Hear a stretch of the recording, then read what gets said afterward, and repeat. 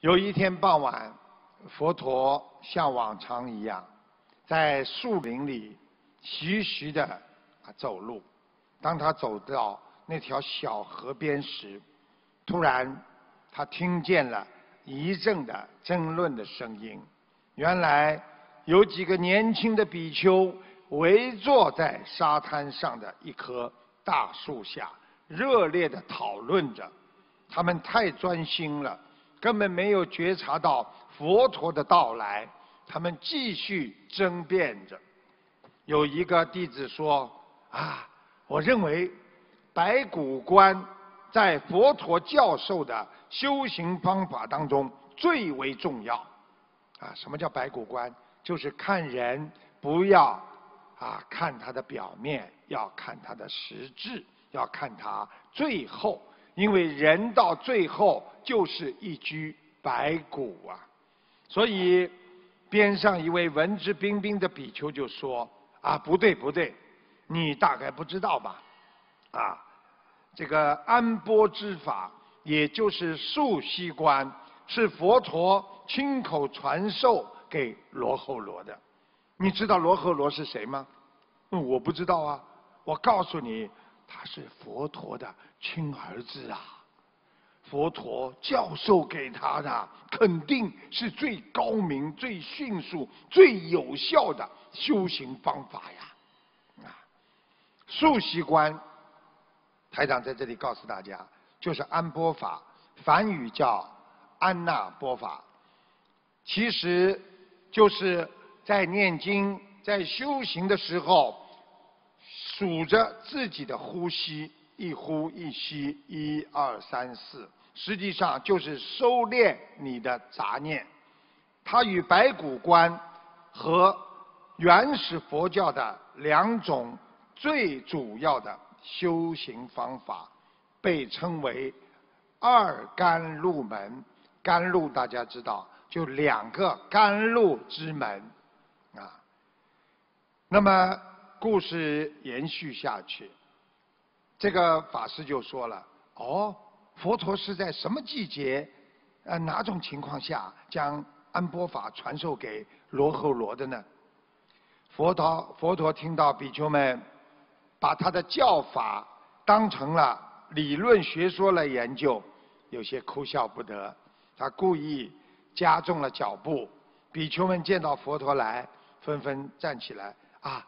佛陀来了，佛陀微笑的示意他们坐下坐下，自己也坐在松软的沙滩上，对弟子们说道：“啊，我无意中听见了你们的讨论，你们要明白，我所教给你们的是体验真理的方法，但它不是真理的本身，更不是一种学问。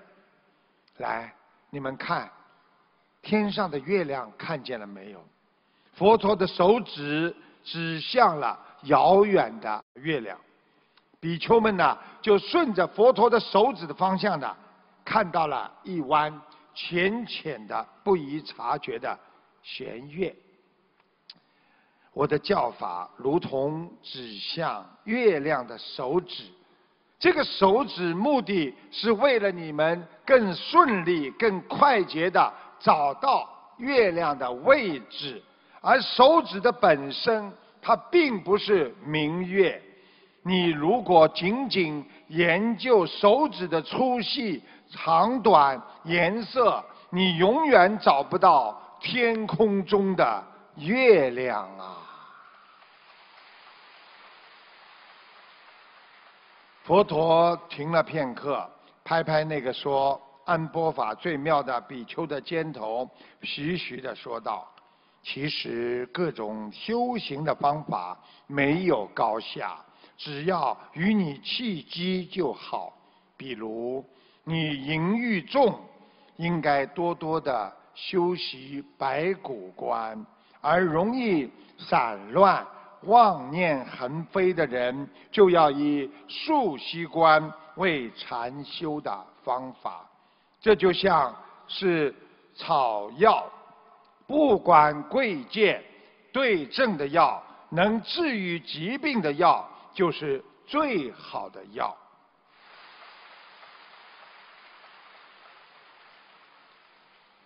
一位名叫阿利陀的比丘，感动的啊，匍匐在地，抱着佛陀的脚说：“啊，世尊，您说的太妙了。”我一定要铭记你的教导，将佛法当作我的灵魂，终生执持不舍。”你们听听这句话，其实很正能量，没有什么问题。但是佛陀大摇其头，他说：“佛法恰似一首载着你的木筏，我们渡河需要木筏，但它绝对不是彼岸。一个有智慧的人到达彼岸之后，就不会扛着木筏到处跑。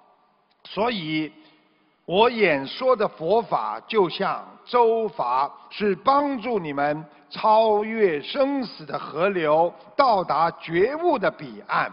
你一定不要执着它，不要死死的抱着它不放，要懂得及时的脱离它，舍弃它。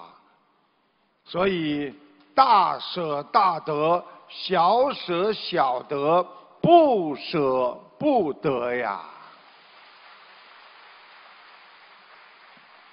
菩萨为我们关上一扇门，必然会为你打开一扇窗。